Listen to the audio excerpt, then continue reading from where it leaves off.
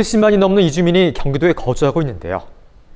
이주민에 대한 시선을 긍정적으로 바꾸기 위해 노력하시는 분들이 있다고 합니다. 서문영 기자가 다녀왔습니다. 이주민 리더로 선정된 왕근아 씨. 독거노인을 위해 식사를 대접하고 있습니다. 이주민이지만 우리나라에 기여하는 일을 하고 싶다는 신념으로 시작한 봉사입니다. 아, 저희 단체 올린 거의 10년 가까이 됐어요. 근데 올린 하다 보니까 아이들이 필요한 교육도 더 필요하고 그리고 이동 언어도 필요하고 그래서 저희 사무실에서 아예 중국어 교육도 시작하고 아이들 댄스, 서예 그리고 지금 한자까지 그리고 이주민들 위해 하는 한국어까지 저희가 지금 모니하고 있어요. 경기도 외국인 인권지원센터는 도내 거주 외국인 주민 중 지역사회에서 리더십을 발휘하고 있는 5인을 2022 지역사회 이주민 리더로 선정했습니다.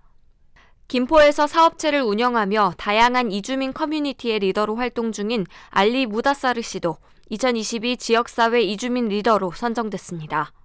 음, 너무 좋다고 너무 고맙다고 생각해요. 뭐 앞으로도 잘 에, 뭐 이런 거 봉사일도 잘 하고 사업할 때도 음, 좋게 옆에 있는 사람들한테도 도와주고 지역사회 이주민 리더는 경기도가 외국인 주민의 안정적인 정착을 도모하고 이들에 대한 긍정적인 인식을 심어주기 위해 추진해온 사업입니다.